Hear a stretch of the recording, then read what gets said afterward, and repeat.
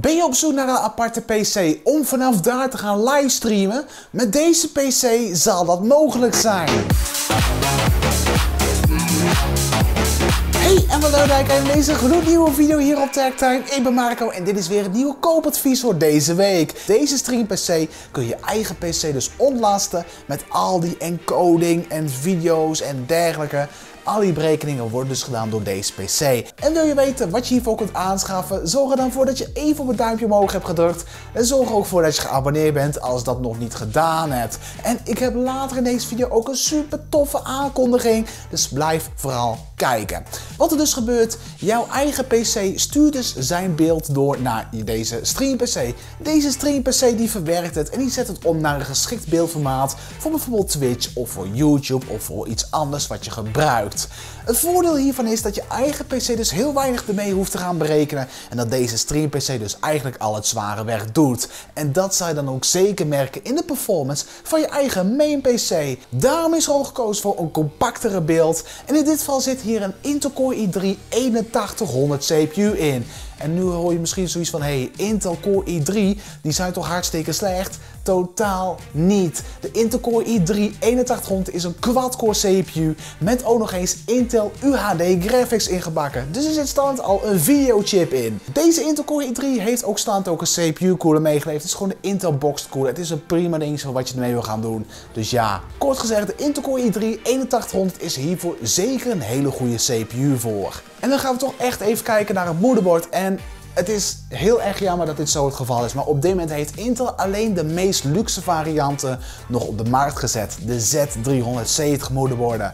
Ik vraag me echt af wanneer de H en de B moederborden uitkomen. Ik hoop dat het niet al te lang meer gaat duren. Maar voor nu moeten we toch de Z370 gaan nemen. Is niet zo'n heel groot probleem, want ASRock heeft hiervoor een heel leuk bordje. Dit hier is de ASRock Z370M Pro 4. Dit is een micro ATX formaat moederbord die toch voor deze doeleinden prima geschikt is. Standaard kun je hier namelijk 64 GB RAM geheugen plaatsen en is het eventueel later nog mogelijk om mee te overklokken. Alleen de CPU ondersteunt dat niet, maar als je eventueel upgrade naar een K-CPU, dan is dat wel mogelijk. Het is ook tevens ook een van de goedkopere varianten voor Z370 op een micro ATX formaat. Want een micro ATX is ook een klapje kleiner dan normaal ATX. En dat zijn dan ook zeker gaan merken in het formaat van deze PC.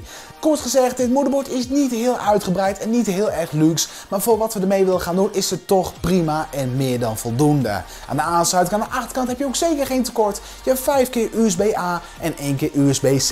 Je weet wel, die nieuwe standaard die ook onder telefoons te vinden zijn. Kan weliswaar nog extra gaan investeren voor extra features. Maar hey, dat gaan we niet gebruiken. Dus daarom dat we gekozen hebben voor deze ASRock Z370M Pro 4. De geheugenprijzen zijn nog steeds ontzettend hoog. En het ziet er ook voorlopig niet naar uit dat deze gaat zakken. 8 GB RAM is hiervoor gekozen van Crucial Ballistic Sports. Dit is DDR4 2666. Je kan er weliswaar nog veel sneller geheugen in prikken, maar hey, in de praktijk zal het voornamelijk liggen aan de CPU die de meeste werk gaat doen. Dus aan snelle geheugen zal je hier niet al te veel aan hebben. 8 GB DDR4 2666 is meer dan genoeg. Je kan later nog gaan upgraden naar 16 als je wat meer nodig hebt, maar voor nu heb je een 8 GB nog meer dan voldoende. Het volgende onderdeel is de voeding. En je moet natuurlijk wel een goede voeding hebben om er zeker lange tijd profijt mee te van hebben. Op zich hoeven we geen complete kerncentrale erin te bouwen. Een voeding van 300 watt is meer dan genoeg. Daarom is er ook gekozen voor deze voeding van Be Quiet. Dit is de Be Quiet Pure Power 10 van 300 watt. Deze voeding is niet modulair, dus alle kabels zitten ook gelijk in de voeding. Is dat een probleem? Nou, in dit geval vind ik dat eigenlijk niet. Het is een hele goede stille voeding die ook nog eens kwalitatief heel goed in orde is. Hij kost ook meer dan 50 euro en dan heb je hiermee toch een hele goede deal te pakken. En de opslag is natuurlijk ook heel belangrijk. Je wil dat je PC heel erg snel zal reageren en ook heel snel opgestart is. Een SSD is dan echt een must om te hebben. En daarom hebben we ook eentje van Crucial genomen. Dit is de Crucial MX500 van 250 gigabyte. Voor 250 gigabyte heb je meer dan genoeg ruimte voor OBS of eventueel andere streamsoftware. Je kan wel eens zeggen van misschien prik ik nog een harde schijf erbij om alles daarop op te nemen. Hoeft niet per se, maar het kan eventueel wel. Maar voor dit geval hebben we besloten om alleen een SSD te plaatsen. De MX500 is een gloednieuw SSD en die is ook een klapje sneller dan de MX300 en is ook nog eens een stuk betrouwbaarder. En waar prop je dit dan allemaal in? Nou, dat was even een zoektocht geweest, want je kan weliswaar leuk een hele fancy behuizing nemen.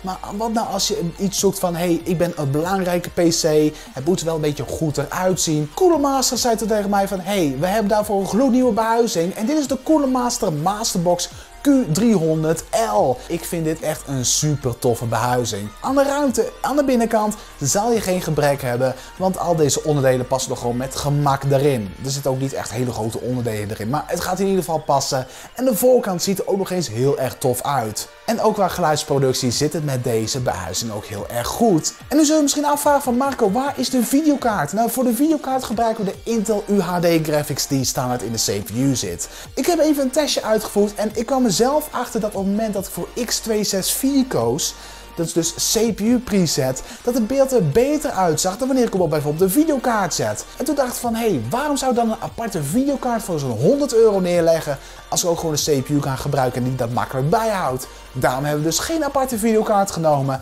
maar gaan we het gewoon doen via de CPU. En nu echt officieel de aankondiging. Zaterdag en zondag gaan we livestreamen op dit kanaal en ook op Twitch. En natuurlijk zullen we ook op meer kanalen gaan livestreamen. Maar in dit geval, we gaan dus weer een streampje doen op de Game Corner. De Game Corner is als het ware ons gaming gedeelte we hebben natuurlijk Tech Time voor de tech en we hebben natuurlijk de Game Corner voor de gaming. En ik wil je in ieder geval vragen om even te abonneren op het linkje in de beschrijving, want we gaan daar binnenkort ook zeker mee aan de slag. Dus in plaats van dat we alleen tech gaan behandelen, gaan we ook aan de slag met gaming. En het wordt echt super sick. We gaan gewoon nog door op Tech Time, geen zorgen, maar we gaan ook aan de slag op de Game Corner. En er komen ook super toffe content aan. Dus wil je even vragen, ga even naar de link in de beschrijving. Ga even daar even op abonneren of klik gewoon even op de kaart die hier verschijnt in beeld. En laat ons even weten welke games wil jij ons zien spelen. Ik wil CSGO spelen of bijvoorbeeld Fortnite, PUBG of uh, Overwatch of weet ik veel allemaal. Laat ons gewoon even weten. En vergeet niet, als jij erbij bent dit weekend, een paar keer kans op een giveaway. En beter gezegd, Meerdere. Ik heb een hele doos vol hier achter de camera staan. Die heb ik ook al gepost op Twitter. En die zit helemaal vol. En er zitten hele leuke toffe dingen in. Ik zou het super tof vinden als je erbij bent. Aanstaande zaterdag en ook op zondag. En dan wil ik je nog even bedanken voor het kijken naar deze video. En zoals altijd zeg ik weer, tot rechts.